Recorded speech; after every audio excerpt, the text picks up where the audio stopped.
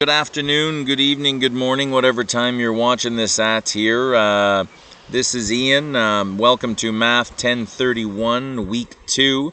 Um, apologies there that I won't be able to uh, uh, hold a live class there, but this um, this PowerPoint is pretty uh, it's pretty cake. We sh shouldn't even be here an hour, so uh, that's why we'll uh, let you guys sleep in there if need be. the but here it is. Let's get it going. Um, but I should tell you that the questions and answers are posted as well into the weekly folder. Uh, please have a look at those. And also, uh, your assignment uh, one is ready to go. And I'm just kind of cleaning it up a little bit because that's just the way this one is. You'll see here that everything that's highlighted in yellow is a question. And just I just just don't want anyone there to not get a question here. But I'm still working on the answer sheet on how to. Uh, um, but this is what it'll look like here. And see everywhere that's highlighted a yell as yellow will be a corresponding question. Don't worry, we'll uh, cover in all this there today. Graphs and there's even uh, pie charts. We'll cover that there today. And uh, these are called stem and leaf, which we'll get in there. They're, uh, everything is all right. So.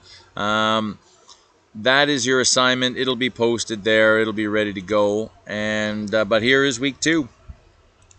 Let's go. Organizing and presenting qualitative data. Uh, there are three main ways to organize and present qualitative data. You've got tally charts, which are kind of closely aligned there to a frequency distribution table. They're pretty easy. We'll, I'll show you those. Bar chart, I just showed you guys, and pie chart. Okay. You guys are going to be able to construct these, and uh, they're not too bad at all. So, just to be clear, this is what we call a table. And to be ultra clear, this is what we call a chart. So any type of a graph, we'll call a chart there, and this is a table. It's got rows and columns, right? So uh, this has rows and columns too, but this is our table here. And you'll see how we utilize both of them differently there, okay? Um, so a tally chart.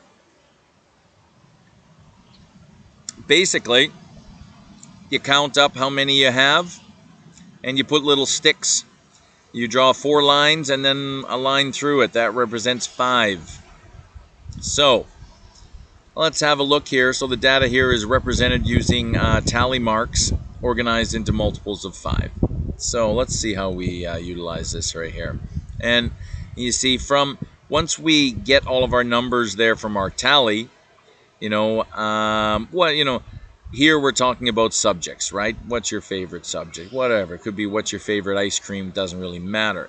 I'm going to give you a group of data, and it's going to look like mashed potatoes. And you're going to organize it. Okay, so here I had 12 uh, people that thought that English was their favorite subject. And you see here, we actually write in the numbers over here. Now we have what's called a frequency distribution. And you can now tell, you know what I mean? It's like what I said there last week, taking the unorganized mashed potatoes and organizing it into something visual. Harley. So, here's your mashed potatoes completely unorganized data. Let's have a read. A class of students enrolled in a statistics for health science class are surveyed about their field of interest. Nursing, pharmacology, athletic, uh, sorry, athletic therapy or kinesiology. We got uh, veterinary, paramedic, and other. So you've got all these different categories here that are, you know, not really related to each other, but um, and these are the number of students there that so these are our numbers here, completely unorganized. So what do we do? Well, you draw three columns there to represent field of interest, a tally, and frequency. So let's have a look here. What do we got? So you take all the information there that I gave you, okay? And then now you got to go through physically, you know, with a pen, paper, or however, and start scratching off and adding up. So I've gone through the entire set of data here, and these are all the data points there relating to, and you see we've stratified them, put them into different uh, uh, fields of interest. And now we just count them up. So here I've got 5 and 2, that should be a 7. Here I've got 4, that should be a 4. Here I've got 5, 5, and 2, so this one here should be 12. And here I've got 5 and 4, which is 9, and then 5, and then 3. Let's see. Woo! The modern miracles of science and technology, eh? So you see there, that's what we've done. Pretty crazy stuff, eh? Yeah. So now that you've organized this data into some type of meaningful, in some meaningful way, now you can actually start to pursue scientific knowledge and start asking and answering questions. So what is the most common field of interest? Well, what's your biggest number? Nursing, 12. So that's the most common. What is the least common? Well, you go to the least there, number 3, which is other. Whatever that is. Okay? So now we can do meaningful data. Um, we can create meaningful data here and maybe change the world. So what do we got here? How many students were surveyed in total? Well, that's your total, right? So you add them all up, 40 students. All right. There's something else here there that we need to uh, look at. It's a new term. It's really not that bad. Uh, it's called your relative frequency. So you got your tally, which is just the number there that uh, you counted, and then you change that into a real number, which is your frequency. You have your total, students, right? Because you counted them. So your relative frequency is 7 divided by 40 because for this one here we're talking about athletic therapy or kinesiology okay and we've got 7 students out of 40 so what's my percentage okay so um, practice this one if you're not that good about changing fractions into decimals or percentage, these kinds of things. Um, the 7 divided by 40 is equal to 0.175. So 0.175. And you can change any decimal into a percentage by multiplying the decimal by 100%. So you see right here, you take your, uh, for this one right here, 7 divided by 40.175 times by a hun. So therefore, that seven students in this particular survey represent 17.5% of all students. And if you do the same thing here, 4 divided by 40 is 4 divided by 40 is equal to 0.1. So multiply that by 100 equals 10% practice these out because I will hit you on these again for sure. Okay? And if you have any issues with that, just let me know. But that is your cumulative frequency. Um, in next week's uh, class, which is on the assignment here, uh, we'll deal with something called cumulative frequency. So I'll post uh, week three there early, and y'all can uh, have a look at um, cumulative frequency. But again, it's not too bad. None of this stuff is really too bad. All right. Pie charts. Okay, first of all, a circle has 360 degrees. That's what we need to know there for this one. Sometimes it helps there to have a protractor, but if uh, you won't need one there uh, for this course here. I don't think. Nah, I don't think so. Um, pie charts are used to summarize and Harley, relax. Pie charts are used to summarize and show classes uh, or groups of data in uh, proportion. So you see, here we've got, um, I don't know, five different uh, ideas being represented here. And the nice thing about a pie chart is that 100% of the data has to be here because that's what a circle is. And so now you can compare sizes of these groups in conjunction with another group of participants in the same study. And uh, you can visually see here, these are great by showing you that this one, that B and A make up more than half of all data points here, probably around 60%. All right. And like here, we've got 30, 45. So 45% is here, 55% is here. And that's the great thing about uh, these pie charts here. So the final grades of 40 students who passed a math exam are represented in the pie chart. Okay. Good. Let's go on and see how we uh, make one of these. Okay, so these guys here, uh, pie charts are great for uh, summarizing, okay, and comparing. Uh, the size of each sector represents the percent portion or fraction of each category of the data. Okay, if you look here, we have two portions uh, of the uh, pie. Here we've got this sector, which is 15% uh, and 54 degrees. And if you take your calculator and divide 54 degrees by 360 degrees, you should get 0.15. And if you multiply that by 100, you'll get 15%. So you just have a look here. Um, if you want to measure degrees, so a circle is 360 degrees. Okay, so let's say we start here. We're at zero degrees. If we go all the way up here, so now you basically have one quarter of the circle. Okay, that's 25%. That's 90 degrees. 90 divided by 360 is one quarter, which is 25%. Okay. Um, if we wanted an angle that went all the way around here to here, so a straight line has an angle of 180 degrees because 180 is half of a circle, and that would be half of this circle. Okay. If we went had an angle that went all the way around and stopped here, so now we're at basically three quarters of the circle, and that's 270 degrees. 270 divided by 360 gives you 0.75. Multiply by 100 gives you 75%.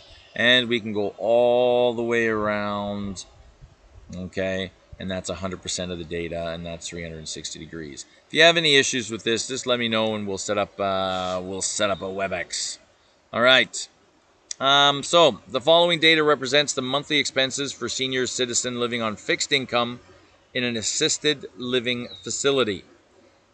So, here housing 2000 bucks, meals 1200, healthcare 800, taxes 500, transportation 3, miscellaneous 200. So, this person here spends about 5 grand a month. Okay, just on living. So, based on this table, draw a pie chart and label the percent and sector angle for each sector. So how do we do this here? So same as same as uh, this one right here. Keep this one here, but basically we're just adding on an extra column. Okay, and we need to find the percentage of each of these of the total because we have the total, which is five grand, but I need percentages, right? because the percentages are going to tell me how big the slices of each pie are. So you take 2,000 divided by your total, multiplied by a hun. So this one right here represents 40%. 1,200 divided by 5,000 times a hun gives you 24%. And you see all of these guys here, they add up to 5,000. Well, all of your percentages better add up to 100 or pretty close to it. Okay? That's how you know you're on the right track. Okay? So now we've got our percentages for all of these different expenses. Now you multiply these percentages by 360 degrees, and that'll give you how much of an angle you're going to make for uh, these pie graphs. And normally I would get you guys to do this and all that, but the uh, I'll still get you guys to do this, but as far as drawing a, a pie graph goes, we'll see. We'll see. We'll see. We'll see. Okay, so yeah, we're almost done. That's uh, just based on these percentages. See, 40%. If you're going to calculate this, you got to change that 40% back into a decimal, and that would be 0.4. 24% as a decimal would be 0.2. 0.24, 0.16, 0.1, 0.06, 0.04. If you multiply 0.04 times 360, you'll get 14.4.